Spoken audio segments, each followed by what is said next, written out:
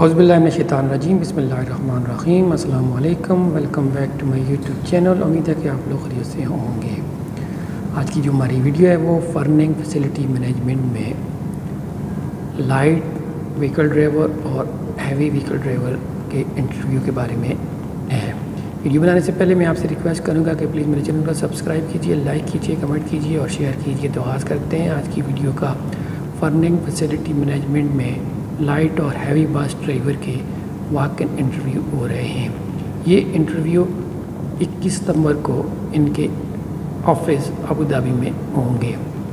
Light vehicle driver के लिए आपके पास दो से तीन साल का एक्सपीरियंस होना ज़रूरी है और इंग्लिश बोल चाल आप जानते हों और ये इंटरव्यू अबू धाबी में होंगे। इसके अलावा हैवी बस ड्राइवर के लिए आपके पास तीन से चार साल का एक्सपीरियंस और साथ साथ में इंग्लिश लिखना, पढ़ना, बोलना आती हो। और इनकी लोकेशन भी इंटरव्यू के लिए अबू धाबी ही है। और इनकी लोकेशन मैं अपनी स्क्रीन पर चला दूँगा। ये उन लोगों को प्रेफर कर रहे हैं जिनको अबू धाबी के रोड के बारे में पता है।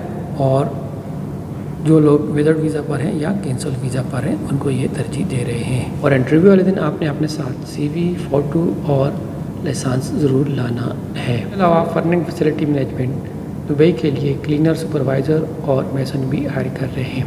क्लीनर सुपरवाइज़र के लिए आपके पास दो से तीन साल का एक्सपीरियंस और साथ साथ एयरपोर्ट का एक्सपीरियंस होना चाहिए। अगर आपने एयरपोर्ट पर काम किया हुआ है तो उसको ये तरजीह दे रहे हैं। इसके अलावा फर्निंग फैसिलिटी मैनेजमेंट, दुबई के लिए क्लीनर सुपरवाइज़र और मैसन हायरिंग कर रहे हैं। इनके इंटरव्यू 21 सितंबर को कोच थ्री में होंगे। इनकी लोकेशन मैं अपनी स्क्रीन पर चला दूँगा।